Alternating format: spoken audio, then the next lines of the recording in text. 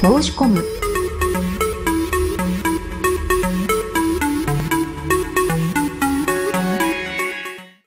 宮根アナフィギュア性中継ぎに映り込んだ中山リポーターに何を談笑してたんですか？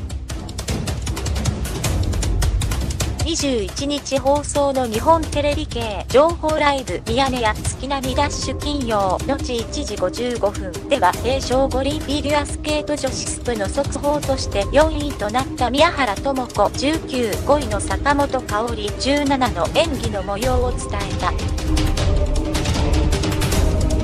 現地からは中山雅俊リポーター50か生中継ぎで出演。すると MC の宮根誠司アナウンサー54は NHK 総合で生中継された国際映像にスタンドで観戦する中山リポーターが近くの席の女性と笑いながら会話する様子が映っていたことを取り上げた。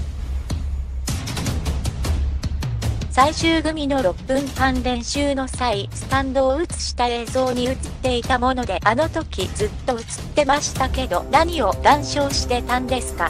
かなり長い間映ってましたよ、とニヤニヤ。中山リポーターはフィギュアのファンの方で団体から見てらっしゃるのでお話を聞いてましたと説明。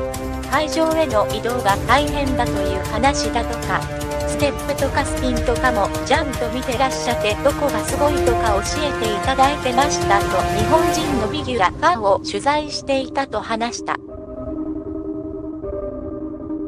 宮根アナはさらに女性ファンが手のひらを立てるようにして何かを説明していたことに触れ何を話していたのかと問い詰めた。もしかしたら携帯を落としたっていう話かもしれません。お友達から借りた携帯を落としたということでと中山リポーターが答えると宮根アナはすかさず携帯使った。と追及中山リポーターは見つかってないようです。でもご自分の携帯は持ってらっしゃいました。と戸惑い気味に回答。本題のフィギュアとは違うところでのしつこい質問攻めに苦笑いだった。